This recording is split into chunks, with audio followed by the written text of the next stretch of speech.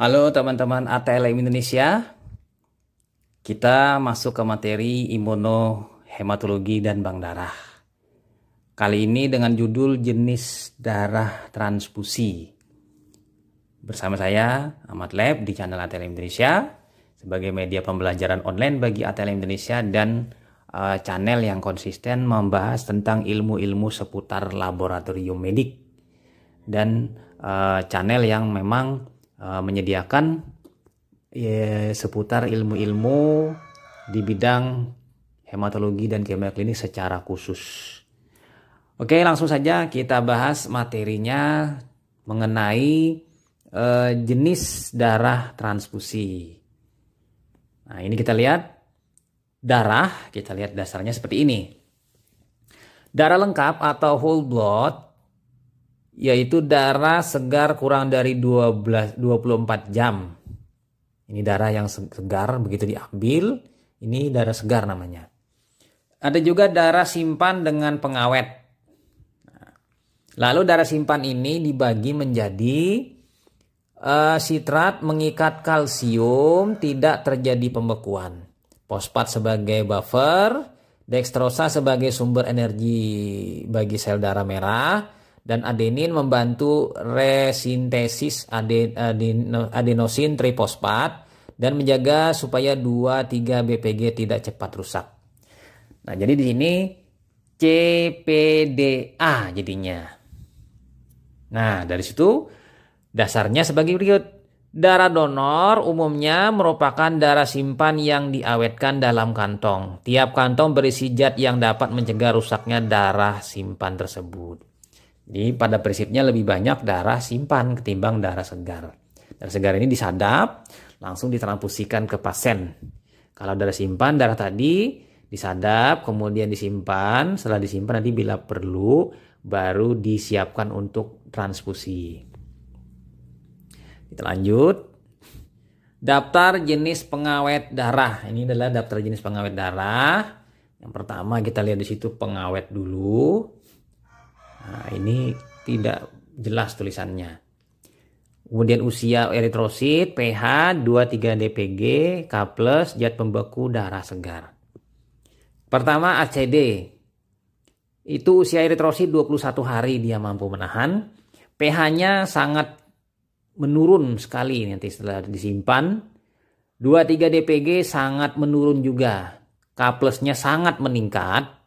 Zat pembekunya itu lumayan tidak begitu banyak. Darah segar itu kurang dari 6 jam, itu bisa dipakai untuk transfusi.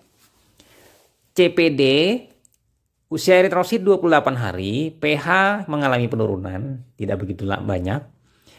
23 DPG itu juga penurunan juga, tidak begitu banyak. K plusnya uh, K plusnya itu tidak begitu banyak, tapi zat pembekunya di dalam itu berlebihan. Darah segarnya itu kurang dari 24 jam. Nah, kita pindah yang selanjutnya ke CPDA. 35 hari dia usia eritrositnya. Ke pH-nya dia tidak begitu mengalami penurunan. 23 DPG-nya juga sama, tidak mengalami penurunan. K plus-nya itu sama juga. Zat pembekunya juga sama dengan CPD. Bedanya nanti di darah segar dia kurang dari 48 jam bisa digunakan. Jadi bedanya di CPDA ini di adenin ini adalah usia eritrosit dan darah segar. Yang keempat heparin, usia eritrositnya 24 jam, hanya 24 jam atau sehari. Macam-macam transfusi darah sediaannya. Nah, kita bahas di sini adalah materinya ini. Tipe komponen indikasi jumlah.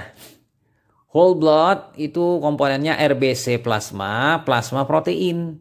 Indikasi perdarahan masif, tambah darah expanding volume, jumlahnya sampai dengan 500 cc uh, 4 jam. Jadi di sini kalau whole blood ini bila kehilangan cairan, ke, kehilangan darah dan cairan ini pakai whole blood. Kemudian yang kedua, pack red cell atau PRC RBC dan sejumlah kecil plasma. Jadi yang utamanya 80 persenan itu isinya adalah uh, eritrosit.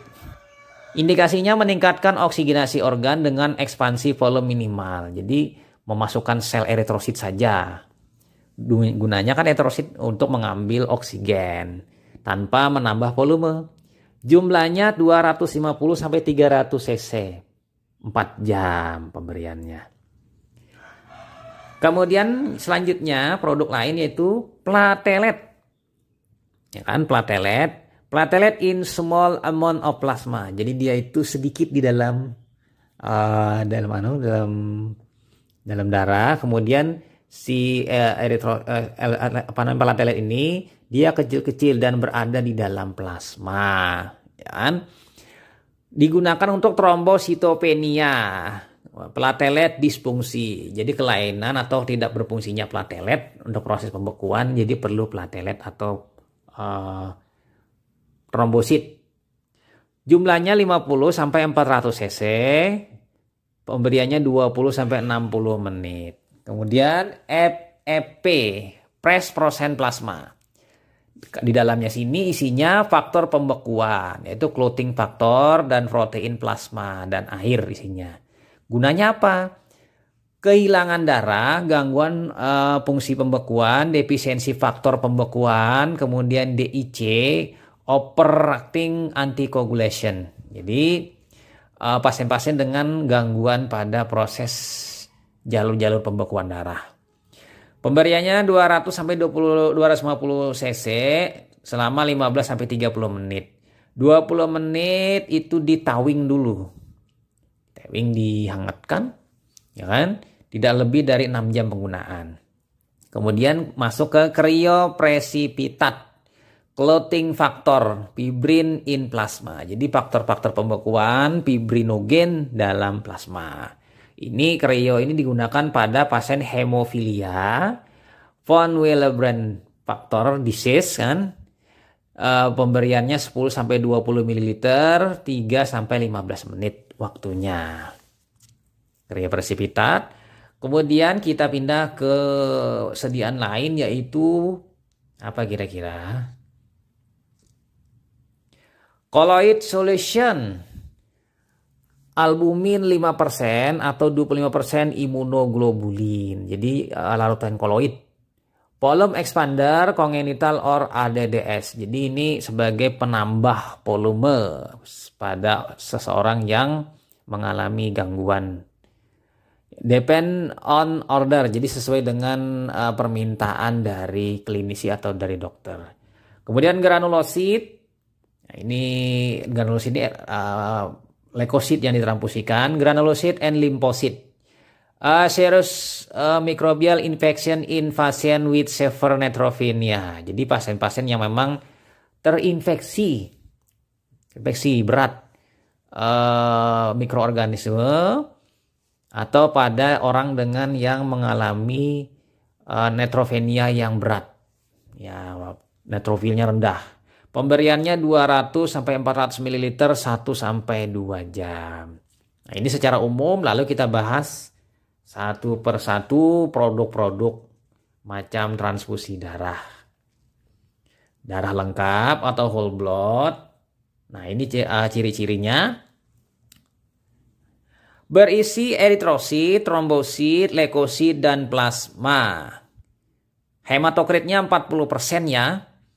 Yang kedua, 250 ml darah plus 37 ml antikoagulan. Darah segar kurang kurang lebih sama dengan 48 jam. Trombosit dan faktor pembekuan masih baik. Ya kan? Nah, darah baru kurang lebih dari 5 mili, 5 hari, 2 3 di fosfogliserat menurun. Indikasinya untuk uh, whole blood ini untuk meningkatkan jumlah sel darah merah dan volume plasma secara bersamaan. Untuk kasus perdarahan besar dan akut, shock hipovolemik.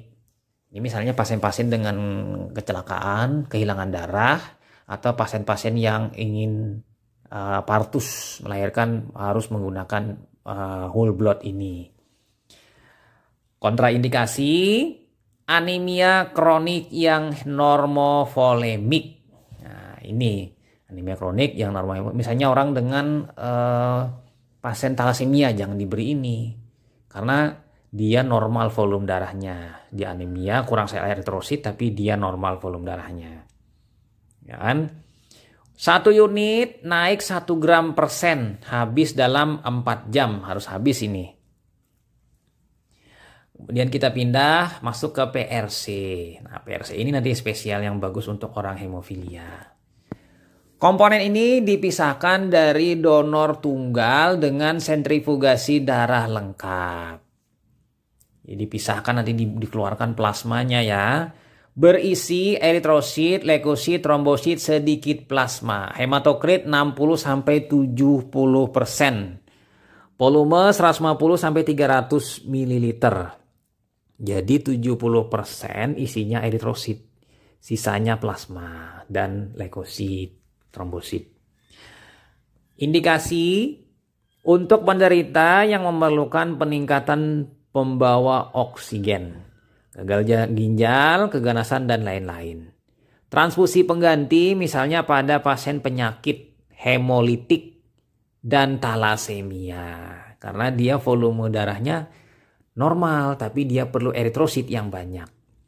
Kontraindikasi tidak boleh diberikan dalam jumlah besar. Terlalu banyak nanti uh, berbahaya juga. Ya kan? Kemudian dosis. Satu unit HB naik 1 gram persen. Dapat ditoleransi pasien dalam 2 sampai 4 jam. Jadi transfusinya perlu waktu 2 sampai 4 jam.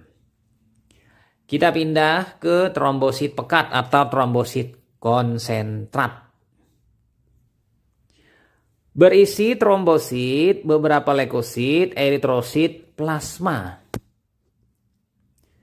Satu kantong berisi 5,5 kali 10 pangkat 10 dalam volume 50 ml. Nah, hitung saja teman-teman. 5,5 kali 10 pangkat 10. 10 biji nolnya, digitnya. Disimpan secara resiprokal agigator pada suhu 20 sampai 24 derajat Celcius selama 3 hari tanpa hemostatiknya kurang baik. Jadi dia agigator trombosit agigator ada blood bank trombosit khusus agigator. Kemudian harus segera diberikan dengan kecepatan cepat. Gunakan impus set khusus, platelet administration set, Teravision. Jadi gunakanlah impus set yang khusus untuk platelet. Kemudian satu unit per 10 kg berat badan. Satu unit meningkatkan 5000 per milimeter kubik trombosit nanti ya. ABO RH taping saja, tidak perlu crossmat. Jadi tidak perlu crossman ini cukup periksa uh, ABO RH saja. Kecuali pada keadaan tertentu. Misalnya IHA dia. Kemudian trombosit pekat, konsentrat lagi, indikasinya trombosit kurang dari 50.000 dengan perdarahan untuk operasi atau tindakan invasif. Yang kedua, profilaksis dengan trombosit kurang dari 10.000 sel per milimeter kubik darah. Namun ada juga kontraindikasi, yaitu penyakit destruktif trombosit ITP, TTP, DIC diberikan bila perdarahan aktif. Lalu, trombositopeni pada sepsis, hipersplenisme kecuali perdarahan aktif. Ini kontraindikasinya ya. Kemudian dosis, satu unit per 10 kg berat badan ya pemberiannya. Lalu satu unit menaikkan 5 sampai dengan 10 ribu trombosit. Ya, bisa dibayangkan kan bagi yang hitung sel. Pindah kita ke presprosan plasma, plasma beku segar, FFP. Plasma dari whole blood yang dipisahkan dan di, lalu dibekukan dalam 8 jam. Ingat ini. Presprosan plasma dibekukan 8 jam masih masih 8 jam ini. Berisi plasma, faktor pembekuan, komplemen dan protein plasma. Disimpan ya kan dalam suhu 18 derajat Celcius bisa satu tahun minus maksudnya minus 18 derajat sampai satu tahun. Kemudian volumenya 200 sampai 250 ml. Coagulation faktor replacement ini untuk penggantian faktor koagulasi 10 sampai 20 ml per kilogram berat badan, 4 sampai unit pada orang dewasa. Nah, untuk dosis ini diharapkan dapat meningkatkan faktor koagulasi 20% segera setelah transfusi. Nah, ini terpotong ya. Masih kita di pros-prosen plasma. Kan? Cara pemberian FFP. Diberikan 6 jam setelah pencairan. Kemudian cocok ABO-nya, sistem golongan darahnya. 4 sampai 6 unit dapat meningkatkan faktor koagulasi 20 sampai 30%. Kemudian efek sampingnya pasiennya menggigil, demam, overload, kelebihan cairan. Indikasi gangguan pembekuan, penyakit hati, DIC, TTP, dilusi koagulopati, transfusi masif. Ini adalah penggunaan untuk FFP. Kontraindikasi tidak untuk mempertahankan volume sirkulasi karena resiko infeksi dan alo antibodi. Nanti bahaya ada ter, uh, terkontaminasi uh, bakteri juga ada uh, alo antibodi. Tubuh akan membentuk zat anti terhadap protein dari kantong darah tadi. Kita pindah ke kriofresipitat. Nah, ini teman-teman kriofresipitat mengandung faktor 8. Lebih dari 8 eh, apa namanya 80 unit per pak. Faktor eh, 13 fibrinogen 100 sampai dengan 350 per pak, ya kan? Fibronectin pada konsentrasi lebih dari uh, plasma ya kan. Kemudian itu lagi uh, diencerkan pada suhu 30 sampai 37 derajat Celcius. Satu unit akan meningkatkan fibrinogen 5 mg per dl pada dewasa target hemostasis level yaitu fibrinogennya lebih dari 100 mg persen. Nah, segera transfusikan dalam 4 jam, jadi tidak boleh menunggu-nunggu. Dosisnya untuk pasien hemofilia pakai rumus dapat diberikan sebagai infus cepat. Dosis setengah pack per kilogram berat badan akan meningkatkan kadar faktor 8 80 sampai 100 persen dan fibrinogen 200 sampai 250 mg per dl.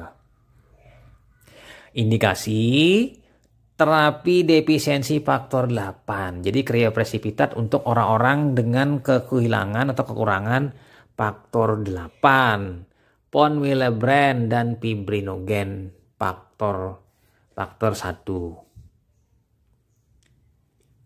Nah, kita lanjut lagi masuk ke granulosit. Nah, transfusi granulosit mengandung setidaknya 1 kali 10 pangkat 10 granulosit. Juga eritrosit dan trombosit. Jadi lebih utamanya diutamakan di sini adanya granulosit.